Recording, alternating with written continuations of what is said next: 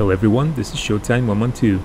If you followed global politics in the early 1990s, the name Alexander Rutskoy might sound familiar. He was the vice president of Russia between 1991 and 1993. In fact, he was the only vice president of Russia because the office was abolished after that. Rutskoy participated in the impeachment of President Boris Yeltsin. He was even briefly proclaimed acting president of Russia but soon ended up in prison where he spent about six months. He continued his political career after his release, but the thing we are interested in is that before his political career, he was a military pilot who participated in the Afghanistan War. He was the commanding officer of the 378th Independent Attack Regiment during the second personnel rotation, which initiated in October 1985. The unit was equipped with Sukhoi 25, one of the most important Soviet aircraft of the conflict. This was the phase of the war in which things began to change and some new weapons were introduced on both sides.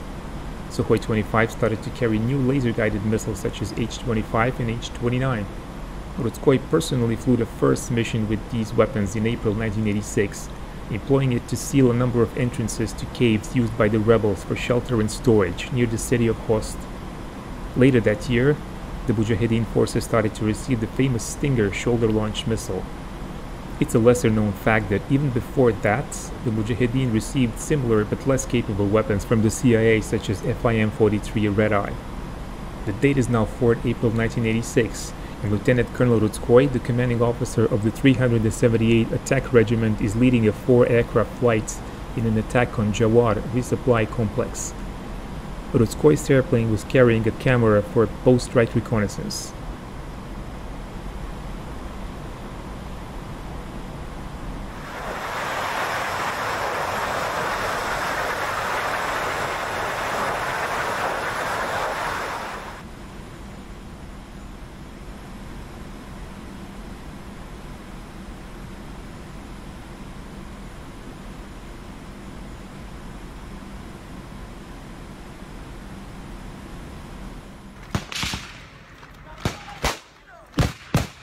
¡Desármala! ¡Eh! ¡La chiquita te muera! ¡Carajo! ¡Yo, yo, yo!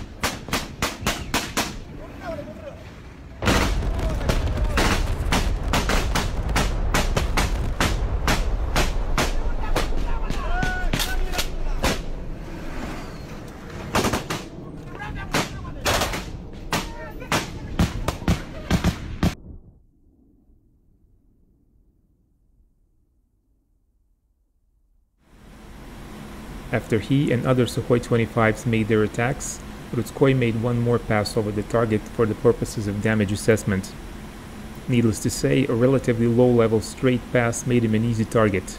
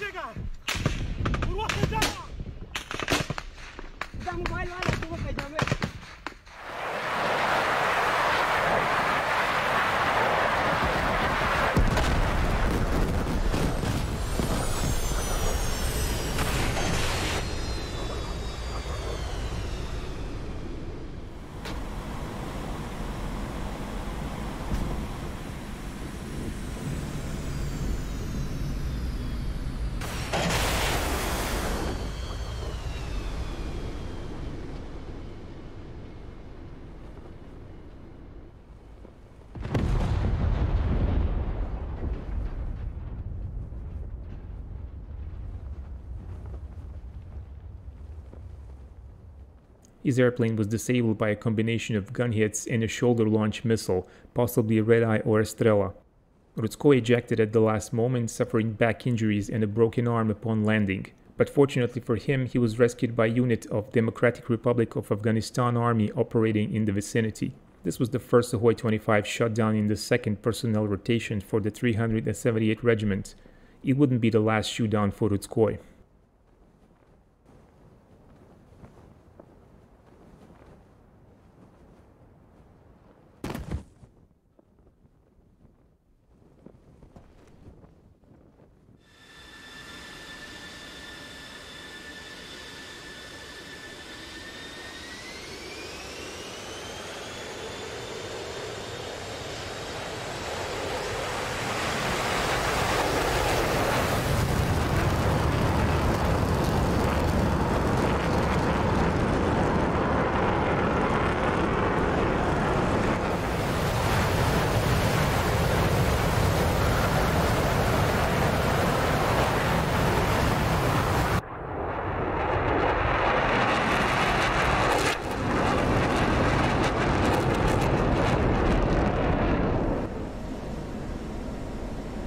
Exactly two years later, Rutskoy returned to Afghanistan, this time as a full colonel and deputy commanding officer aviation of the 40th Army.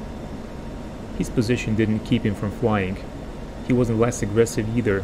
He appeared to seek revenge for his 1986 shootdown. But now let's focus on another aspect of the Afghanistan war. Pakistan was a very important factor providing shelter and training for the Mujahideen rebels. Some of their bases were located just across the border, and as the war progressed, Soviets became more aggressive and started to launch airstrikes into Pakistani airspace. In the early 1980s, Pakistan lacked modern fighters. They initially tried to intercept Soviet intruders with their F 6, a Chinese built MiG 19, but they were never successful. Pakistani government then turned to an old ally, USA, for a purchase of a new fighter, in 1981, they persuaded the US to sell them F 16, and the first of them were delivered in early 1983.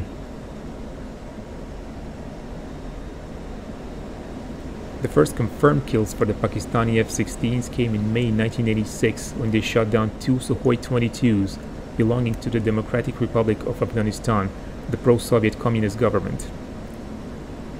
There were two more confirmed kills of the Afghan Air Force aircraft throughout 1986 and 1987. One F-16 was also lost in that period, most likely shot down accidentally by another F-16. The date is now 4th August 1988. A pair of Soviet Sukhoi 24s were detected by Pakistani radars. They seem to be heading towards Miran Shah camp in Pakistani territory. The camp is called a refugee camp by Pakistani sources and a rebel training camp by the Soviet sources. It could have easily been both.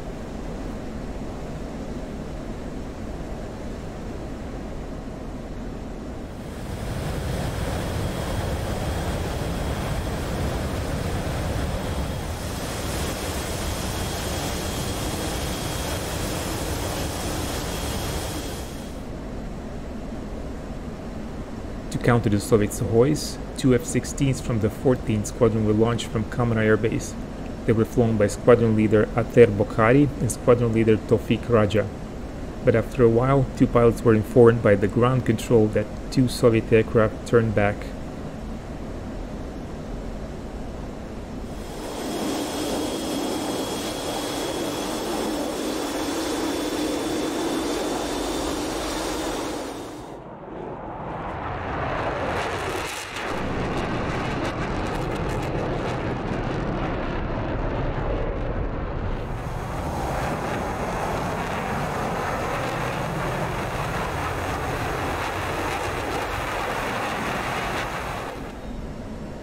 the F-16 slowed down and it seemed like this would turn into another long combat air patrol. But then ground control called contacts 30 degrees left of them at about 15 miles. Squadron leader Bokhari turned and detected him by his radar. The contacts were in fact a flight of four Soviet Sukhoi 25s led by Colonel Rutskoy. Their objective was Miran Shah training camp.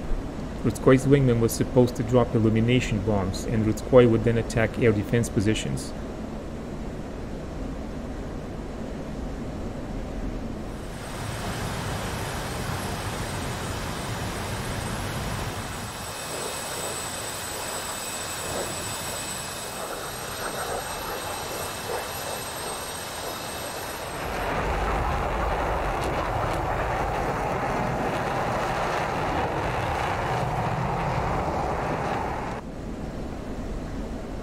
Soviet attack would however be spoiled by the two F-16s.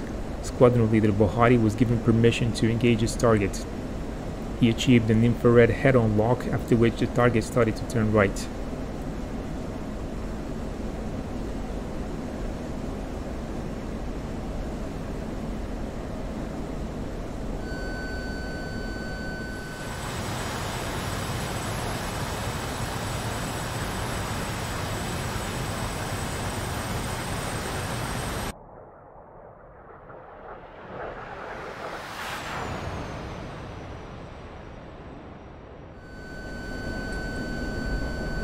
He engaged his afterburners, approached within two and a half miles, and launched an AIM-9L. Bokhari observed his missile hit the Sukhoi.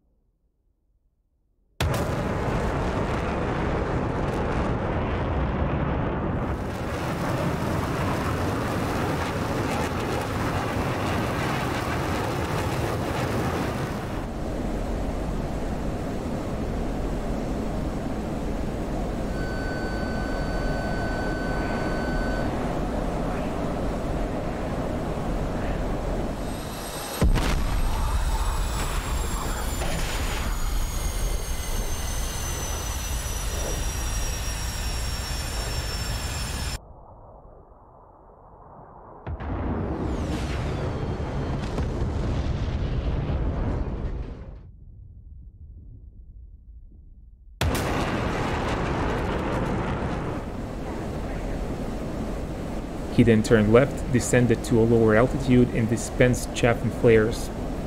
While looking back, he mistook some of his flares for a missile, but his ground controller assured him that there were no aircraft behind him. According to Russian sources, Colonel Rutskoy initiated a hard turn after being locked by the F-16. He apparently did it to draw the enemy into a fight and give the rest of his flight a chance to escape across the border.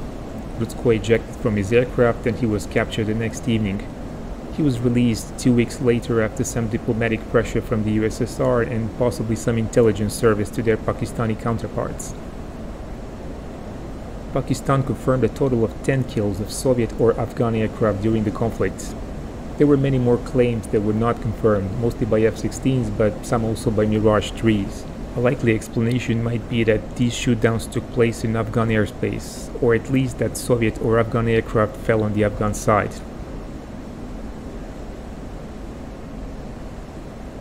The aircraft flown in this video is an F-16C Block 50.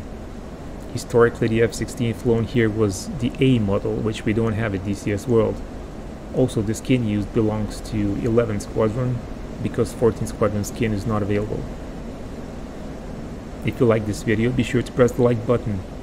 If you want to see some more of the Pakistani air-to-air kills from the Afghanistan war period, let me know in the comments. Support the channel on Patreon if you're able to, subscribe if you haven't already, and keep watching Showtime 112.